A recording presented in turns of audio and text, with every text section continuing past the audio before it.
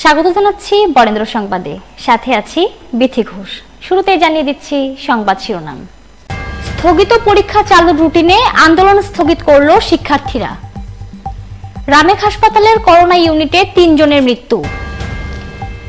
বালুমহলের আধিপত্য বিস্তারকে কেন্দ্র করে নাটোরের লালপুরে আওয়ামী লীগ নেতার বাড়িতে গুলিবর্ষণ, গৃহবধূ আহত। শুনছিলেন শিরোনাম, এবার বিস্তারিত।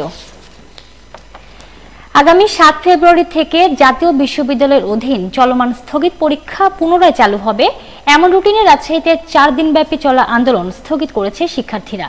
মঙ্গলবার সকালে পূর্বঘোষিত কর্মসূচি অনুযায়ী পরীক্ষা চালুর দাবিতে সাহেব বাজারে জড়ো হয় তারা।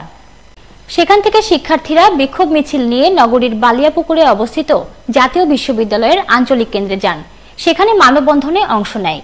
এক পর্যায়ে রাজশাহী অঞ্চলের পরিচালক ফয়জুল করিম জাতীয় বিশ্ববিদ্যালয়ের উপাচার্যের সাথে কথা বলে ঘোষণা দেন আগামী সাত ফেব্রুয়ারি থেকে স্বাস্থ্যবিধি মেনে পরীক্ষা অনুষ্ঠিত হবে। এ ঘোষণায় শিক্ষার্থীরা তাদের আন্দোলন প্রত্যাহার করে।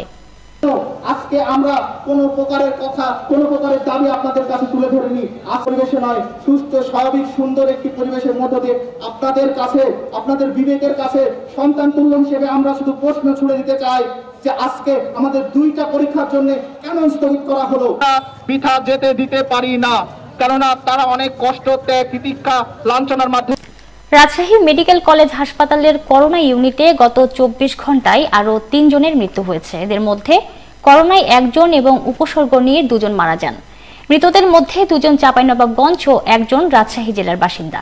এদের মধ্যে দুজন পুরুষ এবং একজন নারী ছিলেন। তাদের বয়স একুশ থেকে একষট্টি বছরের মধ্যে। মঙ্গলবার সকালে বিষয়টি নিশ্চিত করেছে রাজশাহী মেডিকেল কলেজ হাসপাতালের পরিচালক ব্রিগেডিয়ার জেনারেল শামী মিয়াজদানি গত চব্বিশ ঘন্টায় রাজশাহী মেডিকেল কলেজ হাসপাতালে দুটি ল্যাবে পাঁচশো পঁয়তাল্লিশটি নমুনা পরীক্ষায় তিনশো জনের শরীরে করোনা ধরা পড়েছে। তারা সকলে রাজশাহী জেলার বাসিন্দা। পরীক্ষার অনুপাতে রাজশাহীতে করোনা শনাক্তের হার পঞ্চান্ন দশমিক সাত আট শতাংশ, যা গতকাল ছিল ষাট দশমিক চার নয় শতাংশ। একশো চার শয্যার রাজশাহী মেডিকেল কলেজ হাসপাতালের করোনা ইউনিটে মঙ্গলবার সকাল নয়টা পর্যন্ত রোগী ভর্তি ছিলেন তেতাল্লিশ জন। এদের মধ্যে করোনা আক্রান্ত রোগী ভর্তি রয়েছে উনত্রিশ জন।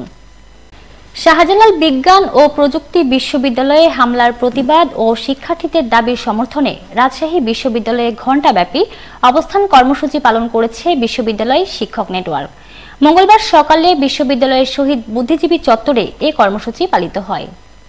এতে বিশ্ববিদ্যালয়ের বিভিন্ন বিভাগের শিক্ষকদের পাশাপাশি ছাত্রফ্রন্ট ছাত্র ইউনিয়ন সহ বাম সংগঠনের ছাত্রনেতারা অংশগ্রহণ করেন।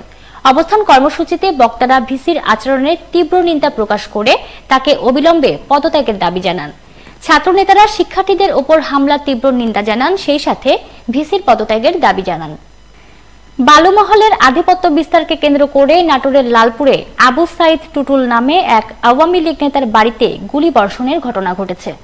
গুলির আঘাতে জানালার কাজ ভেঙে টুটুলের বড় ভাবি শারমিন আহমেদ দোলার কপালে লাগলে তিনি আহত হন। পরে তিনি স্থানীয় স্বাস্থ্য কমপ্লেক্সে চিকিৎসা নেন। গতকাল সোমবার রাত তিনটার দিকে উপজেলার গৌরীপুরে এ ঘটনা ঘটে। মঙ্গলবার দুপুরে অতিরিক্ত পুলিশ সুপার তারেক জুবাইর সহ পুলিশের ঊর্ধ্বতন কর্তৃপক্ষ ঘটনাস্থল পরিদর্শন করেছেন।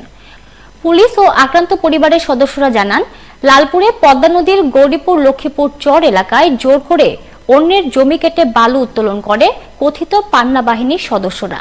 এর প্রতিবাদ করেন ক্ষতিগ্রস্ত জমির মালিক ও ঈশ্বরদী ইউনিয়ন আওয়ামী লীগের সাংগঠনিক সম্পাদক আবু সাইদ টুটুল। এতে ক্ষুব্ধ হয়ে প্রতিশোধ নিতে গতকাল সোমবার রাত তিনটার দিকে পান্না বাহিনীর প্রধান কাকনের নেতৃত্বে একদল সন্ত্রাসী গৌরীপুর এলাকায় টুটুলের বাড়িতে চড়াও হয়ে এলোপাথারে গুলিবর্ষণ শুরু করে। এ সময় আতঙ্কিত লোকজনের চিৎকারে এলাকাবাসী এগিয়ে এলে পালিয়ে যায় হামলাকারীরা। খবর পেয়ে মঙ্গলবার দুপুরে পুলিশ ঘটনাস্থলে গিয়ে দুইটি গুলির খোসা ও এক রাউন্ড তাজা গুলি উদ্ধার করে। নাটোরে ঘন কুয়াশা, শৈত্যপ্রবাহ আর হিমেল বাতাসে কাহিল হয়ে পড়েছে জনজীবন। হাসপাতালে বৃদ্ধি পেয়েছে শীতজনিত রোগে আক্রান্ত রোগীর সংখ্যা। কনকনে ঠান্ডায় জুবুথুবু হয়ে পড়েছে বয়োবৃদ্ধরা।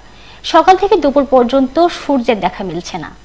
সন্ধ্যা না নামতেই কুয়াশায় ঢেকে যাচ্ছে চারিদিকে। গরম কাপড়েও নিবারণ হচ্ছে না শীত। রাতে নামতে থাকে তাপমাত্রা, সেই সাথে বাড়তে থাকে শীতের তীব্রতাও। সবচেয়ে বেশি সমস্যায় পড়েছে খেটে খাওয়া নিম্ন আয়ের মানুষজন। রাস্তায় মানুষজনের চলাফেরা কম থাকায় অটোরিকশা ও রিকশা চালকদের অটোর জমার টাকায় তুলতে পারছে না ঠিকমতো। অতিরিক্ত ঠান্ডার কারণে হাসপাতালে বৃদ্ধি পেয়েছে শীতজনিত রোগে আক্রান্ত শিশু ও বয়স্ক রোগীর সংখ্যা। এই ছিল বরেন্দ্র সংবাদে, সাথে থাকার জন্য ধন্যবাদ।